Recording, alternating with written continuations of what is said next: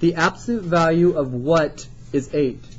These little lines basically are saying make it positive. So what values give me 8? There's actually two. The absolute value what? Basically it's saying what two numbers are 8 from 0? Because absolute value also means distance from 0. So give me one number that equals 8. Your answer is 8. There's also another answer. Your other answer is negative 8. Because is negative 8, when you take off the negative, positive 8? What an absolute value does, an absolute value changes all negative values to a positive. So if it's positive, it doesn't need to change it. It stays. But if it's negative, it makes it positive. So your two answers are 8 and negative 8. Both of those make the statement true. Looking at number 2. What numbers will give me 12? Well, could some of you see 16 works? Because look at this. Doesn't x minus 4 equals 12? If I just simply solve that, if you add 4 to both sides, does 16 work? Does 16 minus 4 give you 12? Yeah. But absolute values, don't those make whatever ends up in here positive? So watch this real quick. There's also another answer. You can also do x minus 4 equals negative 12.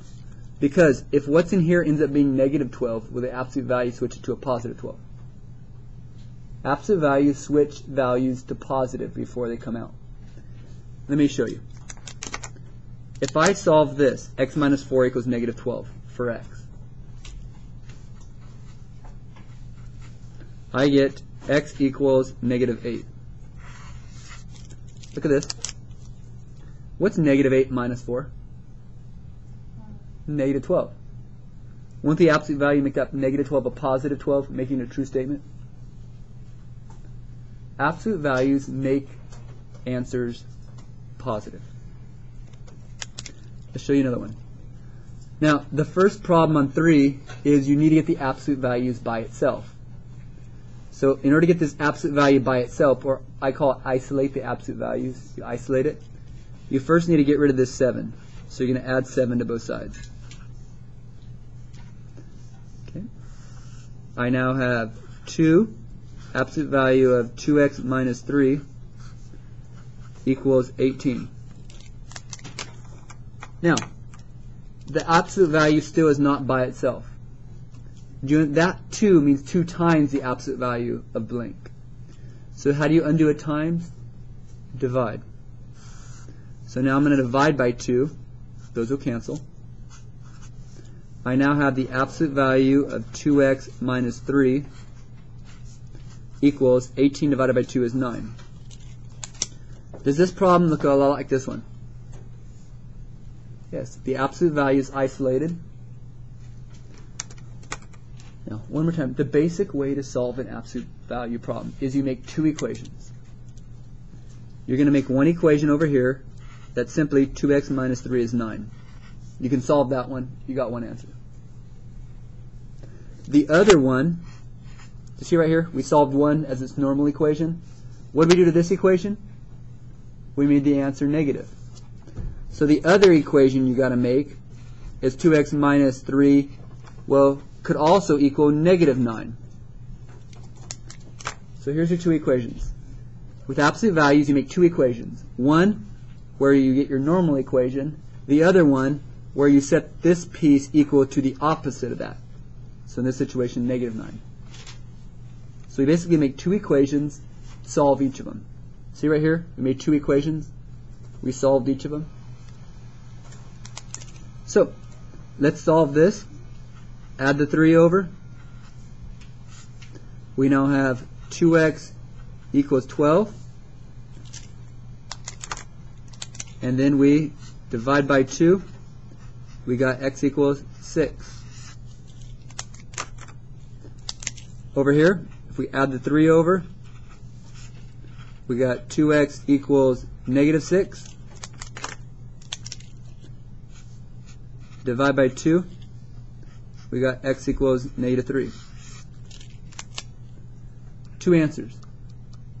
Let's look at it. Negative 3. Plug it in. What's 2 times negative 3? Negative 6. Is negative 6 minus 3 give us negative, give us 9? No, doesn't that give us negative 9? But don't the absolute values change that negative 9 to a positive 9, making it a true statement? If I plug in 6, 2 times 6 is 12. 12 minus 3 is 9. Is 9 equal to 9? You will always have two answers with absolute values. Even here, two answers. Because what's inside of here can be a positive 8 or a negative 8. Because the absolute value will make it positive. Alright, one more. For this problem, we first want to minus the 7 over.